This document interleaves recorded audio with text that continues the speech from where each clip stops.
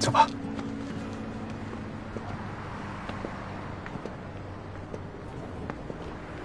好了，这是他自己的人生，需要他自己一步一步的去探究、去体验、去试错、去反思。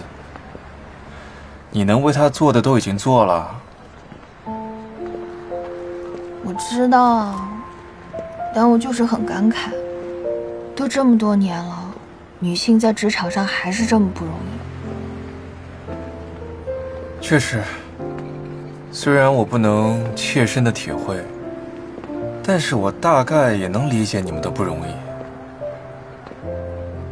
尤其是在职场上，因为生育，因为一些流言蜚语这些诸多的因素，女性和男性想要获得平等的话语权，确实要付出更多的努力。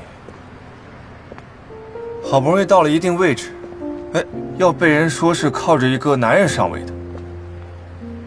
再碰到一些性骚扰的事件，被聊的最多的、挑毛病最多的，也都是你们女性。